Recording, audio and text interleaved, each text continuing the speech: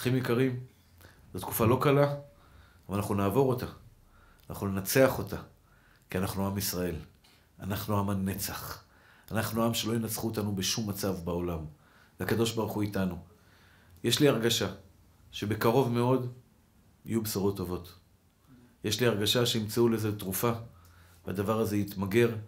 ואנחנו נקווה כבר שבשיעורים הבאים נשב ונצחק על הבידוד הזה שהיינו בו עכשיו, ועל עשרה אנשים שישבו פה.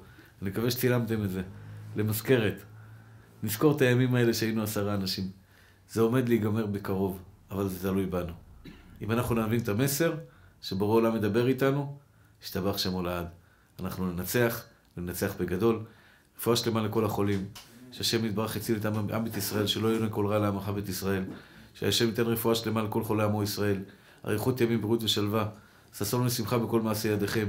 כל הצופים היקרים שיש להם שאלות, אני מצטער אם לא עניתי על כל השאלות. אני רק רוצה על דבר אחד לענות, על כמה נקודות חשובות ששואלים. האם להתפלל במניין או לא להתפלל במניין? אסור לעבור על ההוראות של משרד הבריאות. פיקוח נפש דוחה את כל התורה כולה. ולכן, משרד הבריאות קבע שלמעלה מעשרה אנשים אסור להתפלל, אז לא מתפללים. אצלנו מתפללים עשרה בחדר הזה, עשרה בחדר הזה, עשרה בחדר אחר. אנחנו לא מתפללים ביחד. אסור לעבור על הוראות משרד הבריאות. למה? זה, יש פה ספק פיקוח נפש. במיוחד לאנשים מבוגרים. תחשבו על כל האנשים למעלה מגיל 70, או החולים כרוניים שיש להם חס ושלום יכולים להיות להם סיבוכים. אסור לנו לסכן ולהסתכן.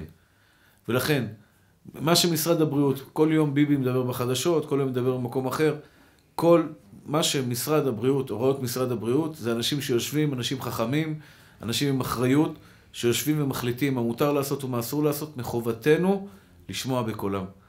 ובאיטליה זלזלו, והבנתי שזה התפרץ שם למגפה נוראית, בגלל שהם לא שמעו בכל ההוראות. אנחנו שומעים בכל ההוראות, אנחנו עם ישראל, עם ממושמע, התורה מצווה אותנו ונשמרתם מאוד לנפשותיכם. לכן, תפילות במניין עד עשרה אנשים. עשרה אנשים, כל חדר עשרה אנשים, כדי שהמניין יהיה אה, אה, אה, עם עשרה אנשים לפחות, אבל לא יותר מזה. לשמור מרחק של שתי מטר, לחיצות ידיים, חיבוקים, אחרי הקורונה בעזרת השם.